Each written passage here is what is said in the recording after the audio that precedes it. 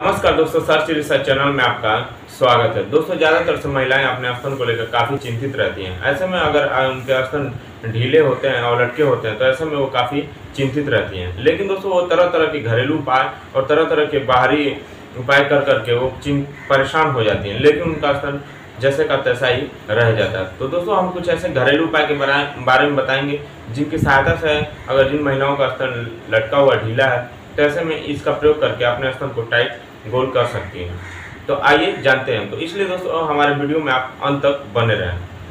अगर अगर आपका भी स्तन ढीलापन है और वो लटका हुआ है तो ऐसे में आपको एक्सरसाइज की काफ़ी ज़रूरत होती है। जी हाँ एक्सरसाइज हमारे शरीर के लिए काफ़ी उपयोगी होता है।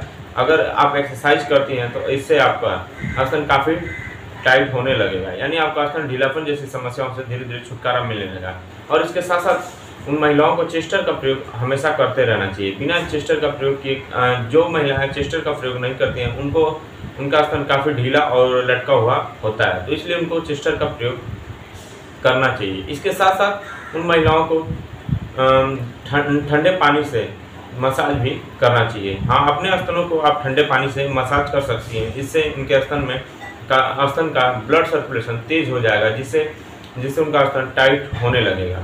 और इसी इसी के साथ साथ बर्फ़ से आप सिकाई भी कर सकते हैं। और नहाते समय एक बात तो का उनको ध्यान देना चाहिए कि अगर आज वो ठंडे पानी से नहाती हैं तो कल उनको गर्म पानी से नहाना चाहिए। ऐसे या तो नहा, नहाने से अच्छा होगा कि आप अपने स्तनों को एक दिन ठंडे पानी से धुलें और दूसरे दिन गर्म पानी से। ऐसा करने से स्तन में काफ़ी सुधार आएगा, वहाँ ब्लड, वहाँ स्तनों में ब्लड सर्कुलेशन तेज हो जाएगा, जिसके वजह से वो टाइट और गोल होने लगेगा। स्तनों पे एक लेप बनाकर आप इससे अपने स्तन को टाइट कर सकते हैं। जैसे मैं अंडे की जर्दी, यहाँ पीला वाला भाग, यानी अंडे का पीला वाला भाग में खीरा का बीज का गूदा निकालकर उसे अच्छी तरीके से पेस्ट बनाकर अपने स्तन पर लगाएँ, मालिश करके लगाएँ, उसके बाद उसे सूखने के लिए छोड़ दें। जब ऐसा करने के बाद से ये सूख जाता है, उसे अच्छी तरह से धुल लेते हैं।